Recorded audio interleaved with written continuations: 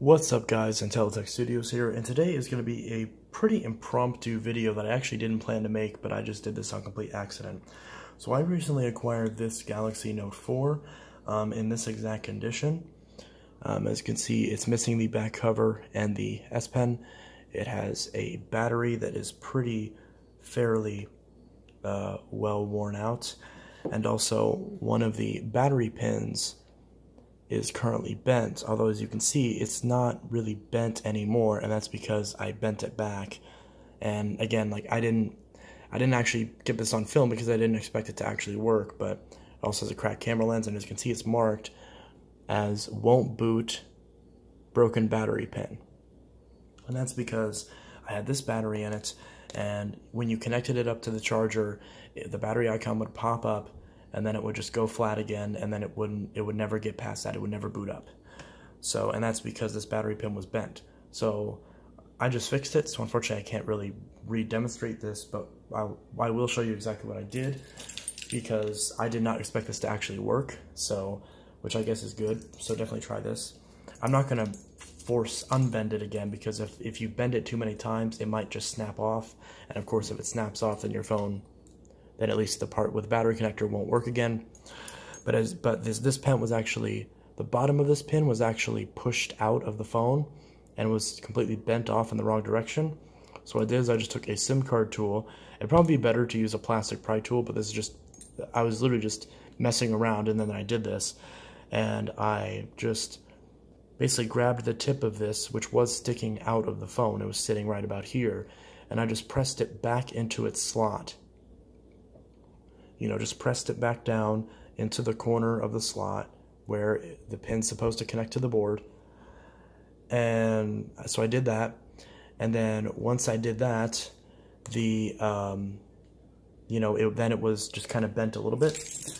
So all I did is I put this battery back in, the original one, and then I tried to power it on, and it didn't do anything. As you can see, I'm going to try to power on right now. It doesn't do anything.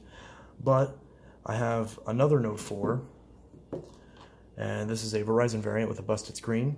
So I'm going to take the battery out of this one.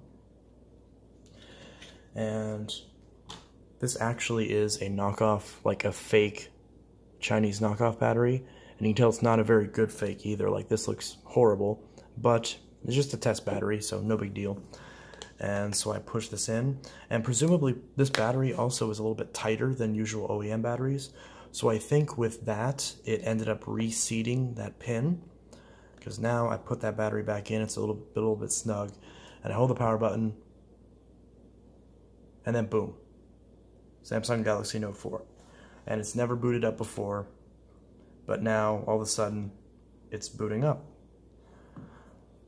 So I basically just unintentionally fixed this issue with the bent battery pin, and of course in this case it was the fourth pin, so the one closest to the left side of the device from the front. And there we go. So now it's booting up just fine. I didn't plan that at all. I don't have this pin because this is just some random person's pin. It was someone who traded it in at work. And of course, yeah, I don't think I have any way to get into this. Yeah, whatever. So, um, but yeah, so that's just what I did, and I ended up fixing the bent battery pin on the Galaxy Note 4. So, I mean, that's just what I did, and it ended up working for me. So, I don't know if it'll work for you guys, but um, it worked for me. And again, I didn't catch it on video, me actually doing it, because I didn't expect it to do anything, but it actually ended up working. And it took a device that previously would not turn on and wouldn't boot up because of the bent pin and actually fixed it. So I don't know if this will help you guys. I don't know. Again, I'm not going to guarantee this will work because this might have just been a fluke, but it worked for me, so I wanted to share it. And but yeah, so basically, just I just used my um, I just used my SIM card tool that I have on my keys.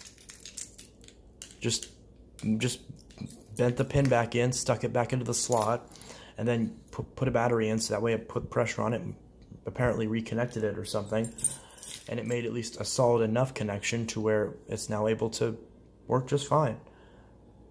So it seems like as long as I keep a battery in it, then this should get power. I don't know if Like, I know normally if the battery pops out, it'll shut off. I don't know if that'll... It's like there, it just... Oh, no, that was just the screen. But yeah, so like, it's working fine. Still has that shattered camera lens, but I did do another video on how to fix the uh, camera lens. Did I upload that video? I don't know if I did. I'll have to check. If not, I'll have to upload that video. But I thought I already uploaded that video on how to fix the camera lens, and I think I demonstrated it on a Note 5. But yeah, so that's how to fix... Alright, maybe I shouldn't say that's how to fix, but that's how I fixed. That's how I fixed the uh, bent battery pin on a Galaxy Note 4. So I'm, I'm going to upload this because I'm curious if this will work for you guys. But yeah, so if your Galaxy Note 4 has a bent battery pin, try this and let me know if it works. Again, I can't guarantee it does because this is just a one-off thing. This might have been a fluke, but I wanted to share it just in case it works for someone else. If at least if this at least fixed one person's phone, then you know what, this video is worth it. So, oh, and I'm dialing emergency numbers. That's not good. Anyways, this is Intellitech Studio signing out with a quick tutorial on how I fixed and repaired my Galaxy Note 4 and got it to boot up again. And uh, this isn't my only Note 4, as you can tell. I'm uh, swimming in Note 4s at the moment uh, because this is my personal Note 4, and then this is one that I was using for the for the updated review, and I dropped it and broke the screen, so I got to fix that. And then this one's all good as well, but now it has a pin, so now I got to worry about. I'm assuming it has a Google account on it, so I'm probably gonna have to FRP bypass it. But if I get if I do that, then I might do a video on that as well. So anyway, guys, this is Intellitech Studios signing out, and I'll see you guys in the next video. Peace.